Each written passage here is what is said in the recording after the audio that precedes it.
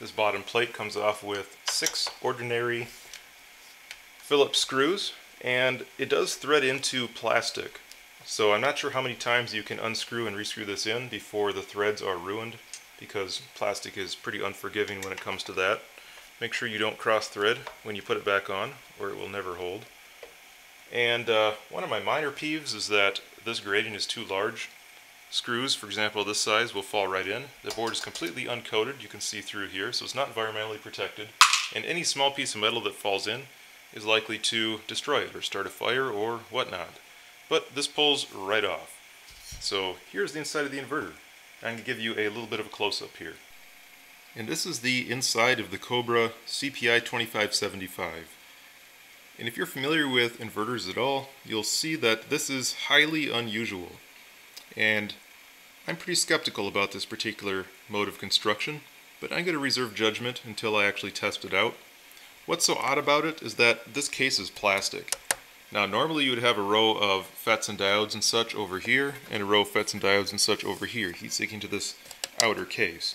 You'd then blow air through the case, and it would cool this. But this particular inverter, they did a very interesting cost-saving measure. They're able to cool the transistors much better than that, uh, much more efficiently, I should say, and use a lot less metal. This is aluminum here. Aluminum is expensive. Plastic is just about free.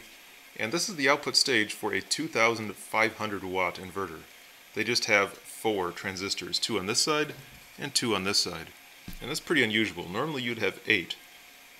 And I looked at the model numbers on these, and they're pretty typical of any transistor that you'll find. They are name brand, which is good. They're not some cheap Asian-made, no name. Uh, so they are very good FETs, but there's only four of them, which is pretty interesting. They do have a green solder mask printed circuit board in here, which I like seeing. A lot of times you'll end up with a really cheap circuit board. Uh, so that's good. Here are the outlets. I don't know the quality of those yet. It looks like they're just all wired up in parallel, all by hand, as you'd expect. The only real automated assembly I see in here is on this board over here. And that board is the uh, circuit board that has a switch and LCD display and such on it. Looks like that had some automated assembly on it, but uh, it's pretty low quality, just like the rest. So far all acceptable though, really. Over here you have the input stage. There are two banks here on these aluminum heat sinks, and here you have your thermal protection on that one. And once again, I'm pretty skeptical. This mode, this method of construction definitely is more efficient in terms of silicon costs and aluminum costs. Here you have just these very small pieces of extruded aluminum and half as many transistors as you'd normally have in, this, in an inverter of this size. It also allows them to put it into a smaller case. This thing really isn't very big, and I'll show you a comparison of its size to some other common object in a moment here. So basically this inverter, you have your input power lugs over here, positive and negative. This happens to be the negative side. And you can see that there is a very large battery strap on that, nice and heavy, so you don't have to use both lugs in this inverter. Uh, that's just a matter of the connection resistance to keep the connection itself from overheating and the cabling. So you do need both of them populated to get the full output power, but there's nothing inside your inverter that's going to melt. It'll just complain about low voltage. Not a problem. So you have your main power coming in. It goes to these two banks of FETs, and you'll notice on this side, here's the two fans. So these fans over here blow directly through these extruded aluminum heat sinks with the components bolted to them on both sides, and the air then blows over these two transformers. And all the power for these transformers comes through these dinky little wires. I'm pretty skeptical on that too. Those wires are not heavy enough. They really aren't. And this just doesn't look like a 2500 watt inverter. This looks like a 1500 watt inverter. If they really did manage to get 2500 watts out of this, I'll be somewhat impressed. The capacitors on here are decent capacitors, but they're nothing special, and there's not enough of them. For the input capacitance, there's really only these. Two little ones over here, and a few more over here. It's very skimpy. So your input ripple voltage is going to be very, very high. They should have spent more money on that. But they skimped out because, hey, what do you know? Components cost money, and if you don't put them in, then it doesn't cost money. And on the output side, once again, these capacitors really are not adequate for a 2500 watt inverter, but it's not all that surprising because this is a low cost point converter inverter. Now, you can buy this whole thing for around $100, and it is really difficult to get an inverter to cost $100.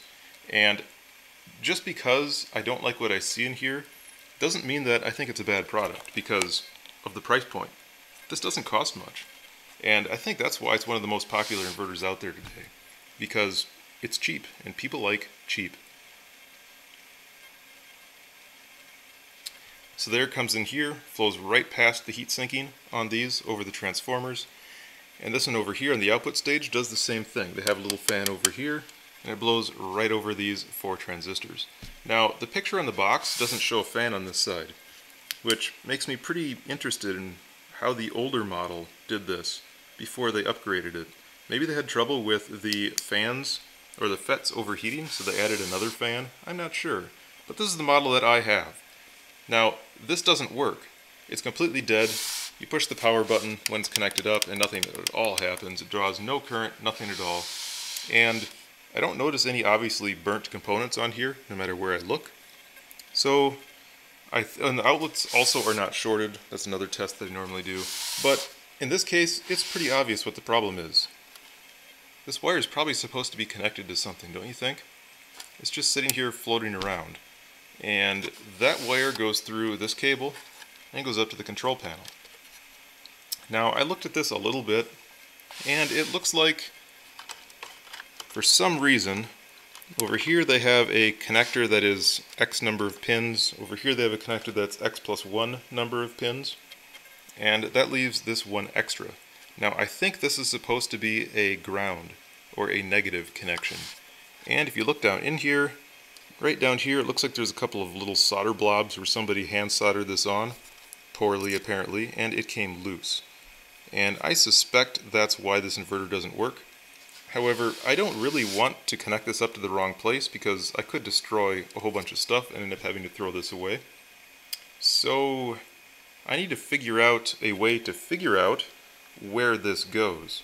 Now I could look online to see if anybody else has any pictures of what the inside of theirs looks like, but I suspect that everybody's is going to be a little bit different because, like I mentioned, this doesn't even match the picture on the box. So obviously other ones are constructed differently inside. So I need to figure out a way to know if this goes here or not. How to do that? So I have an inverter here and I don't know where this wire goes. I have my guesses, but I'm not entirely confident. So what does a sensible person do? They buy another broken inverter, right? So I'll take this inverter, remove the back cover. This is also a CPI 2575. This is not in as good of shape, but hopefully I can fix this one as well. Uh, that's irrelevant for this video. I'm just talking about this one for the moment. So I'll take these screws out, I already removed the other four, and take the back cover off. There we go, two identical inverters. They're identical, are they not? They are not identical. They're both CPI 2575s. They both come with the same manual. They look exactly the same, but they are completely different products. Completely different. Outside they look the same. On the end panels they look the same. But everything is different about them. Once you get into the internals, it is a complete redesign. It is not at all the same product. Even here you can see that they used a different manufacturer fan in this one versus this one. They're not at all the same. Once again, a sign of a poor quality product. So I have the two inverters side by side now. I have this connector in there with this wire, goes up through here to the circuit board. And let's see what the other one looks like. Well, it's completely different. I can't even use this inverter to see where that wire goes because it's not at all the same. Completely different connector here. The cabling going up to this board is completely different. Here it's just all hand soldered in, a bunch of solder blobs. Uh, the board itself is entirely different, no similarity at all to this one. It's a completely different board. Here you can see that they use these buses to get power to their transformers. Here they use wires to get power to the transformer. Over here you can see that the transformers are wound with flat ribbon cable. That's more expensive. Over here they're wound with round wire. Completely different transformer. I haven't looked at the FETs on this one yet, but at least the cooling to the FETs and the diodes and such seems to be about the same. Or does it? No, it doesn't. The diodes are completely different. Here's a bunch of diodes in this one, over here and over here, and this one uses a different configuration and different type of diode. You can see on this one that the printed circuit board is this single-sided circuit board. Um, very, very cheap. A lot of discrete components on it. They had to use this stand-up soldered in board over here to have some of the smarts. Otherwise, a lot of handwork in here. You can see over here that this was not cut properly. A bunch of jagged edges that can cut into your cables that run right by it. I'm not impressed. The capacitors are completely different on this one. Not at all the same as on this one. And one thing that's really interesting is that the fusing is completely different. They use the same number of fuses, but these are 40 amps. These are 35 amps. They're not even fused the same. I mean, what the heck is going on? Is this the same product? It is. The same product made by Cobra, but entirely different. Here we have uh, what's essentially a single-sided printed circuit board, but there's traces on both sides, so I'll call it a dual-sided circuit board. 100% different. There's almost no similarity whatsoever between these. Even if you look at the gauge of the wire going to the outlets, even that's different. So, was this made in a completely different factory by completely different designers? Is one a cost reduction of the other? I don't know, but neither of them are the same, neither of them match the manual, and I'm not impressed.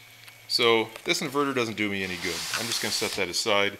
But it does look like there's a similar number of conductors coming off of here, and it looks like there is a ground. So I'm pretty sure that this goes to ground. So it is a little bit annoying having to pull out my soldering iron for just this one wire, but at the same time, I'm glad that it is just this one wire. I could have a whole bank of transistors on here blown out and have to replace them all. This sure is a lot easier than that.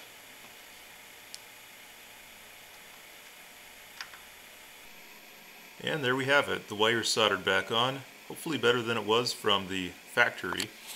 Now, I did buy this broken because I wanted a broken one so that I could get it cheap and repair it.